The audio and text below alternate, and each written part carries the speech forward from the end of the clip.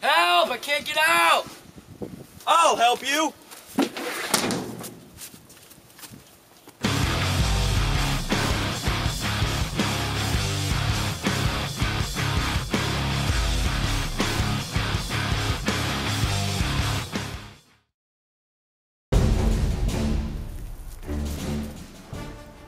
I'm here to find out what you did to Brittany. Like I would tell you? You're just some random guy. Why would I tell you my secrets? Stop stalling and spit out your stupid secret, sicko. What? Stop stalling and spit out your stupid secret, sicko. Try again? Stop stalling and spit out your stupid secret, sicko. You're trying. I just. I. Once, once more. Stop stalling and spit out your stupid secret, sicko. I get the stop stalling part.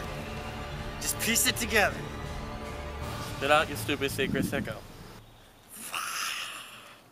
I said stop stalling and spit out your stupid secret, sicko. Fine. Why'd you just say that? But first, let me introduce myself. Fine! It all started a long Wait, time no, wait, no, not this again. I was always a normal kid. I obeyed my parents and I had lots of friends. I was a good kid. Then, that one Christmas, everything changed. Dear Santa, I know that you get really busy this time of year. I sure do appreciate all the cool things that you do for little kids all over the world. I know that you make them happier than anyone else could. I've been working hard to be a good boy all year. I think I've earned my present. This year, I don't have much to ask for. It's a really simple present, and it's the only one I want. I want X Men Origins Wolverine on Blu ray disc. That's all that I'm asking for. He's my favorite superhero, I want to be just like him. That Blu ray is all I want. Don't even have to give me anything else.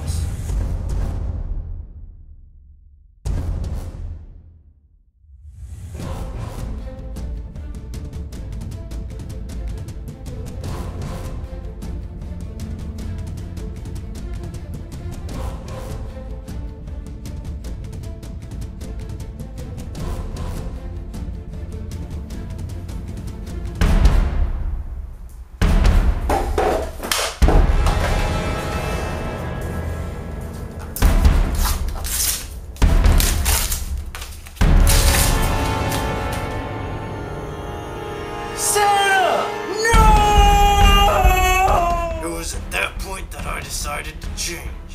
I wanted more than anything to be just like Wolverine as a superhero. Watching that movie brought me joy like nothing else.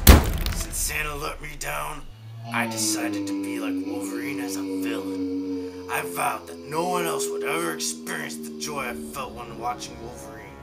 So I became the werewolf. And then so I just decided to dedicate my life to destruction and mayhem.